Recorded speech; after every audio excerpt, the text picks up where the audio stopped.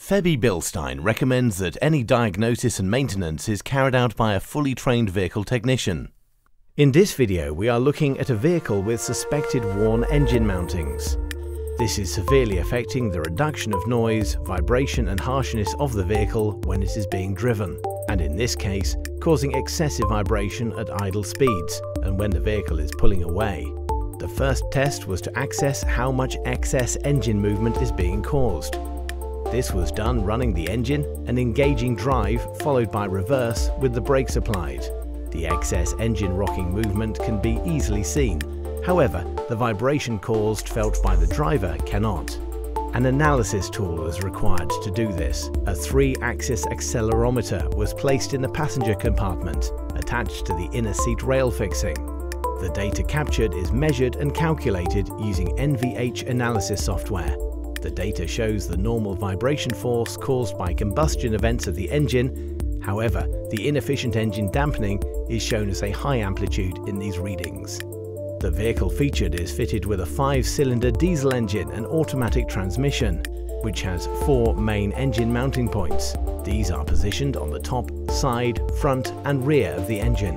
The top and side engine mounts are of a rubber metal construction, and the main front and rear mountings are of a vacuum-operated hydraulic type, which gives greater damping control.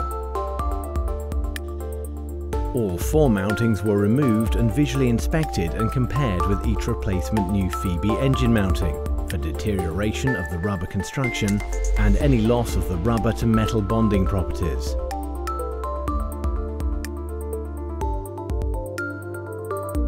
Any severe cracking and deterioration of the rubber affects the mounting stiffness and insulation qualities. These are held within the properties of the elastomeric material used.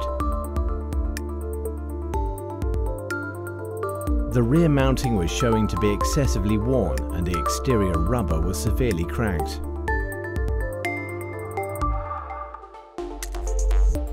The front and rear mountings were also tested for vacuum leaks. They both failed this operational test, proving that these mountings had deteriorated internally and externally.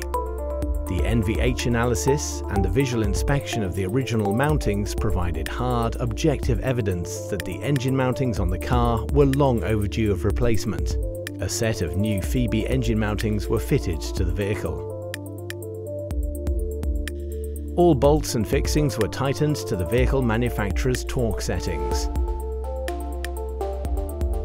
Once the vehicle was lowered, a final test was carried out to check if the excessive NVH characteristics had been reduced.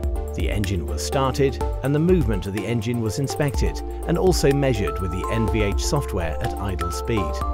The engine movement and measured vibration had been greatly reduced by the replacement of the engine mounts.